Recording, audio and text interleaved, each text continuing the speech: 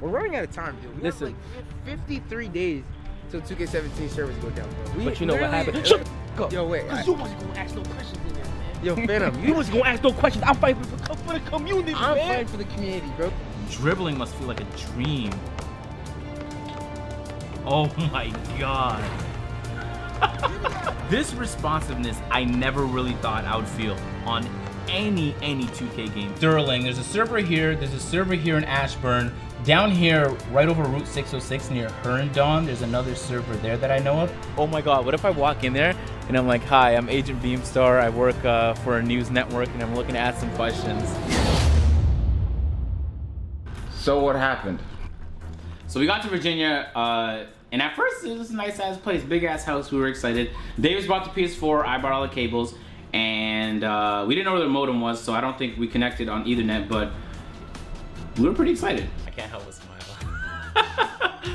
Guys, what's good? Uh, we made it to Virginia. We booked into the Airbnb. You might have thought I was trolling when I said it on stream or even on Twitter. We're in Virginia, north of Virginia. Amazon Web Services has a bunch of their servers here, and they're all within like a two, three minute drive. And 2K uses Amazon Web Services as their servers. Long story short, I'm here to visit the 2K servers. I have to do some analysis. First things first, where the are these servers? How like how expensive is that? Because my thinking is like they do that for like so, so the first four days of 2K's launch. I've literally felt fantastic. Everything about it was fantastic. There was some issues with like people couldn't buy VC or whatever, but in terms of gameplay, never felt better. On like the fourth or fifth day, it started to go to like and I was getting the variable latency. So if you're playing in Ajax, you gotta go through a hop and then go across the freaking world to Virginia. But if you live in Virginia, the hop is so close that you're gonna have better latency permanently. There's nothing you can do. Unless you run fiber optics from here to freaking Virginia and pay $17 million. But can't they just solve it by paying more? I feel like that'd be the easiest solution. can. They can. They can. Many companies now use something called the CDN, is Content Delivery Network, and essentially they set up mini servers throughout the world, depending on how much money they want to spend. So now, if you want to contact 2K servers or Netflix servers, you're not going to California to contact their servers. There's going to be one local in Toronto or Montreal or wherever. So you contact that, and then that has caching information and all that kind of stuff, and then your your latency is to that server as opposed to the server halfway across the world, right? Of course, there's matchmaking issues because now if someone's in Virginia and you're on different servers, it gets all tricky. But if you put more money into it, you're gonna have way better performance. So I was reading this article and it was detailing a bunch of different places where Amazon has their services here in the Virginia area. If you guys play 2K in the East Coast, you're likely connected to these servers here, and so the further you are away from the server by proximity, the longer your latency and delay is gonna be. Do you see this guy? Cloud chase. Yeah, he's literally cloud chasing. you guys not Davis, go yet? back downstairs, bro. Yo, just get out. Come on, dude. So right now we're here in Sterling. There's a server here. There's a server here in Ashburn. Down here, right over Route 606 near Herndon, there's another server there that I know of. And there's one server like a little bit south here. And this is the one that I've seen already. And I'm gonna revisit it in a second. Um, so that's that's what we're doing today, ladies and gentlemen. We're being we're being too nosy. We're trying to find answers. The 2K servers have been trashed for a whole decade. Explain it to me. They have the resources to make it work, and we've seen games with decent servers. So why can't 2K do it? That's a good, solid question that we're gonna find the answer to today, ladies and gentlemen. All right. Hopefully, I see Ronnie 2K there, and we're gonna throw hands. Oh. No, we're not. Show, show we're him gonna you shake show, hands. Hey, show him how you throw hands. Show him how you throw hands. Yeah, hit him, hit him, hit him, hit him. Come on. As to not any suspicion, we're in Virginia, the north of. I wanted to fit in. I got myself a neat little pickup truck. Check out the big body, ladies and gentlemen. Check out the big body.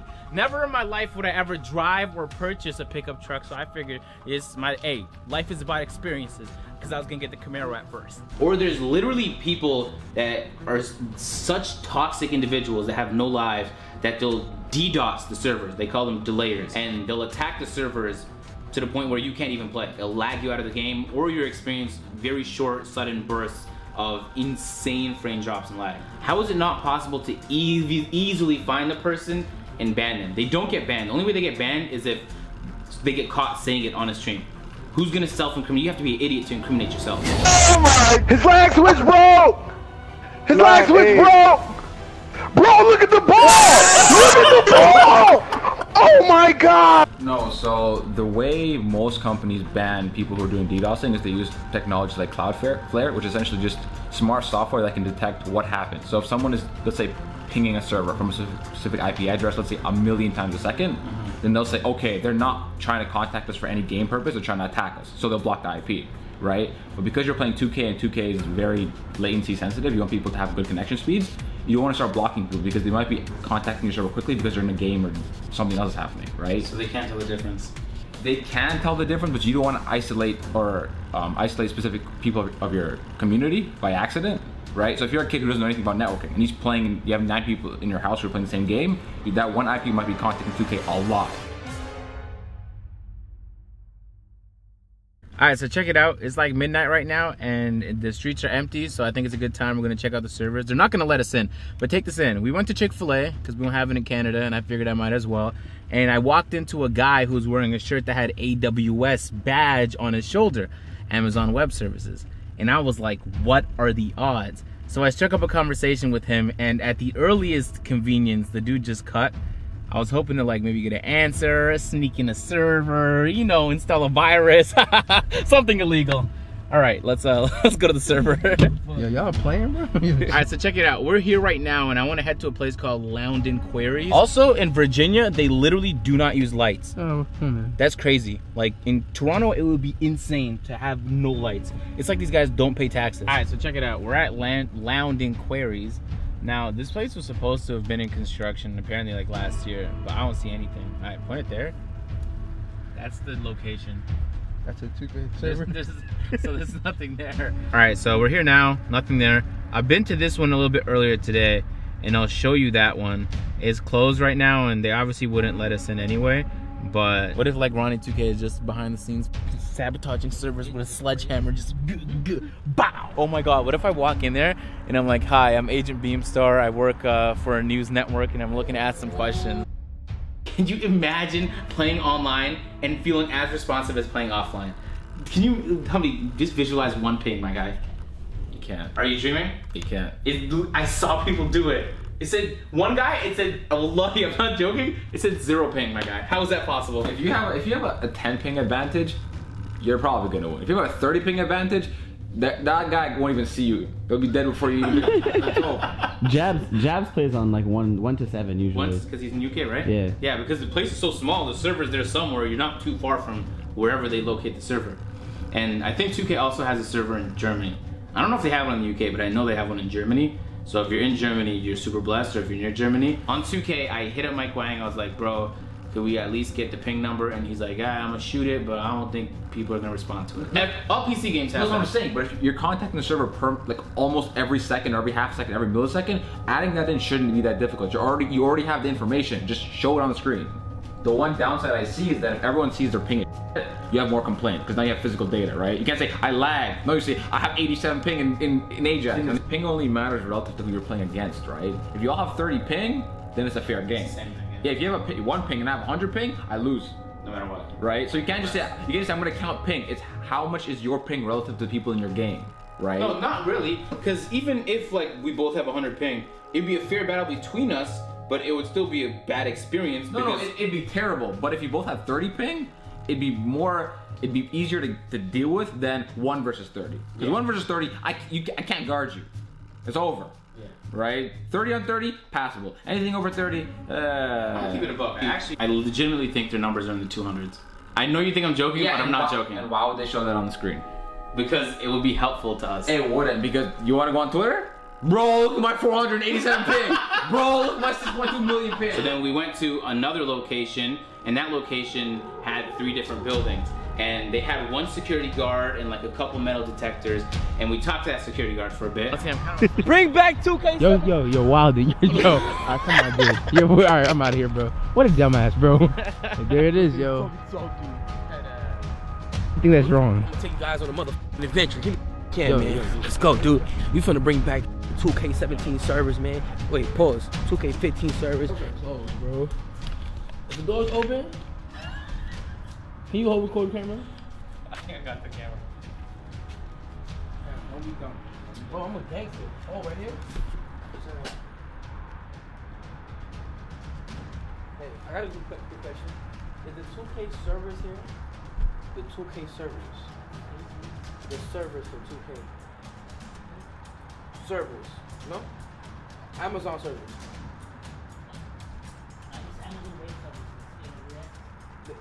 Do they have do they do they host the servers here? Do they host the servers here? No, no. They don't? No. You know what they do? Yeah, they don't. No, do you know where, they, where it's at? Uh, no, I don't. I don't know. All right, thank you. All right, okay. Because they're not gonna do it. I mean, some of them are stupid. But you have but to pay people to monitor the reporting logs, right? to hire people. basically. Cost money. Yeah, you have to hire people that cost, Cost money. Make you so much money. Just hire the guys, man. If you can make a billion a year or 600 million a year, what are you gonna take?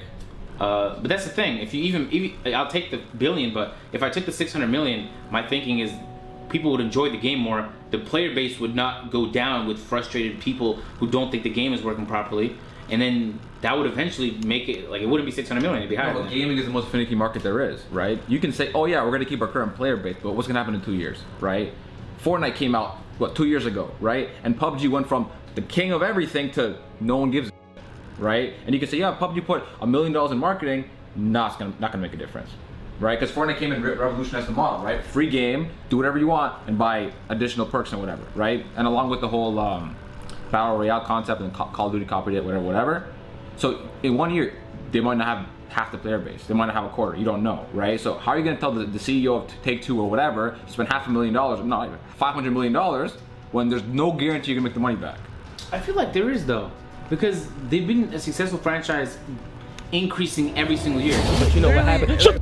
Shut Yo, wait. I, Cause you wasn't gonna ask no questions in there, man. yo, Fanum, You you, wasn't gonna ask no questions. I'm fighting for, for the community, I'm man. fighting for the community, bro. You're Okay, they dumb. can't really see your faces because of the But on a serious note, okay. Unless we you have- guys stand We have on a that lot side. of, We're running out of time, dude. We Listen. have like 53 days till 2K17 servers go down, bro.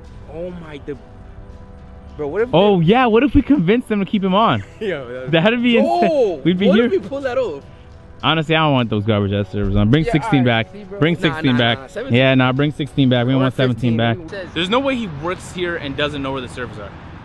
Right? He's security. Though. I thought he was gonna be like mad helpful and be like, yeah, no, actually, right that building right there. If you walk in and use the code 8432. All right, bro. He ain't about to do all that. But if it's, if they're just renting the servers, let's say like Red Dead, let's say they pay a ton of money for Red Dead servers to make sure when the online comes out, which for some reason is still not out, is perfect. Let's say three years from now they don't need that no more. Can't they just take that and move it to another game that they're under? Yep. So then, what's the di- even if 2K just for whatever reason just vanished and we forgot everything about it, they could literally move that stuff to any other game Take Two makes. Yep. Oh, then there's really very little risk. There's, Because there's probably some contractual obligation, like they can't reduce their current um, purchasing by like 80% or something. Let's, let's say 2K flops, Red Dead flops, Take Two gets bombed, and half the people quit or whatever. dude, it's like you trying to demonetize the whole video. Duke got bumped. Give it shit, man. so then we found the third place, and the third place is where I think the server was. And we drove by one time, and I was like, did I just see bare security guards and metal detectors and way too much security for anything going on at 2 a.m.?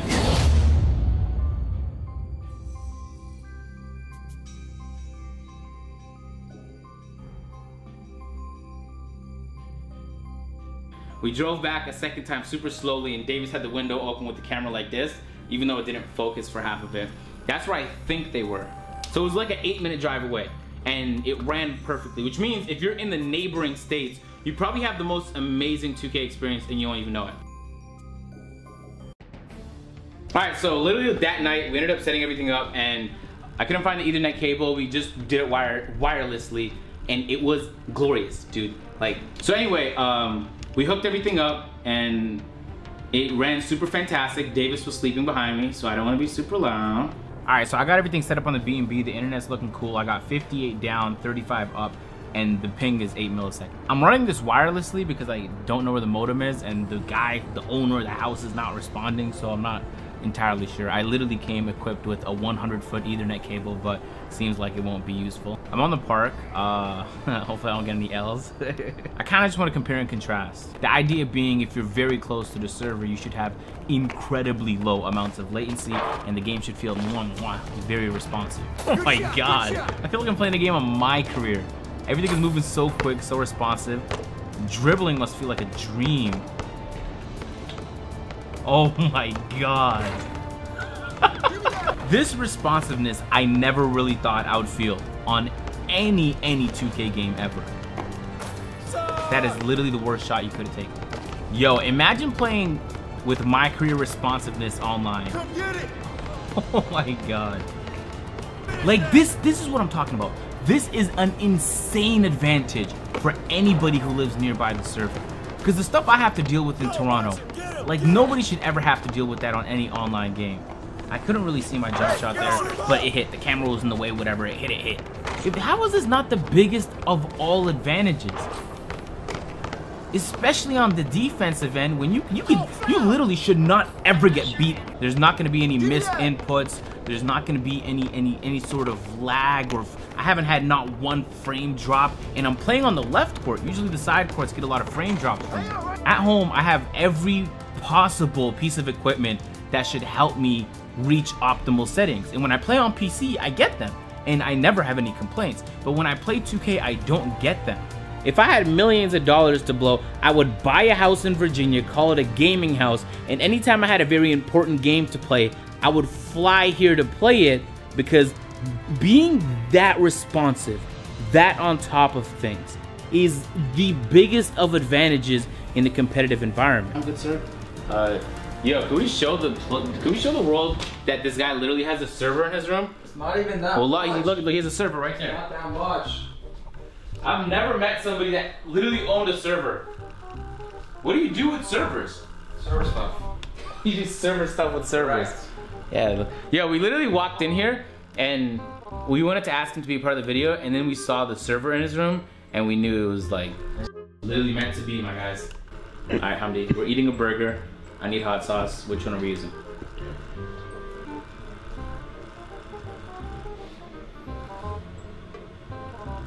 None of them. So you just use no hot sauce? No, I have another one that I have to go buy. Then why is that the most Hamdi answer of all?